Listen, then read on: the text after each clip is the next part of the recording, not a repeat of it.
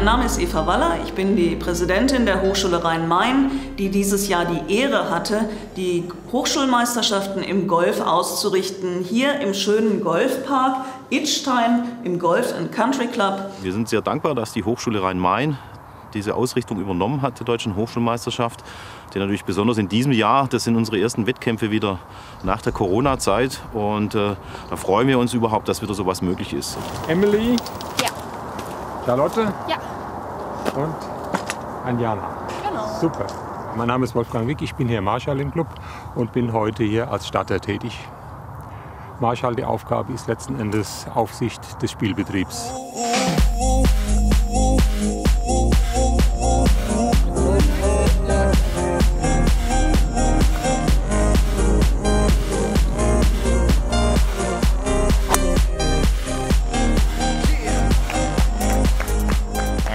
Spiele zum ersten Mal mit äh, und es ist wirklich ein cooles Event. Äh, momentan sind wir auf dem dritten Platz, ähm, haben auf den zweiten kaum Rückstand und auf den ersten schon einiges. Da haben die Mannheimer Leute bis jetzt sehr stark gespielt.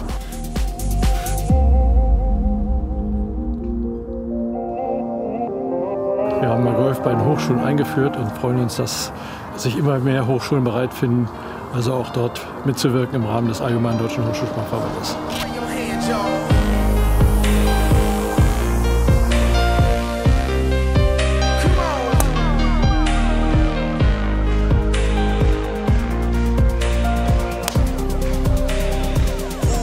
Atmosphäre, ähm, hatten einen tollen Abend gestern und äh, ja, habe bisher eine 72, also eine Paarrunde gespielt, ähm, damit in Führung.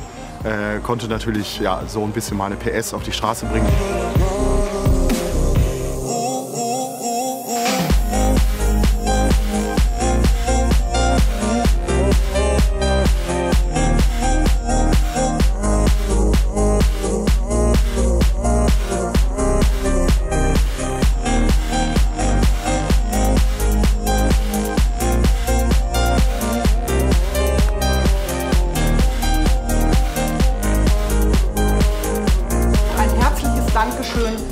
Dafür, dass ihr hier wart, dass ihr einen wunderbaren Eindruck hinterlassen habt, auch bei meinem ganzen Golfpark-Team, die sich alle sehr gefreut haben, euch heute hier zu bewirten, gestern euch zu bewirten am Hafehaus.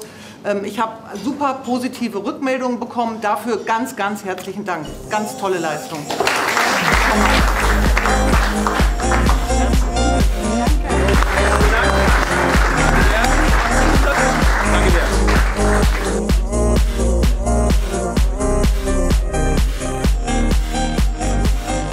Mich auf jeden Fall bei der Hochschule Rhein-Main bedanken und an den ADH für die Organisation dieses Turniers. Hat mir mega viel Spaß gemacht. Ich persönlich habe nicht damit gerechnet, dass ich hier heute vorne stehe, muss ich ganz ehrlich sagen. Ähm, ist der erste größere Erfolg für mich, deswegen freue ich mich riesig.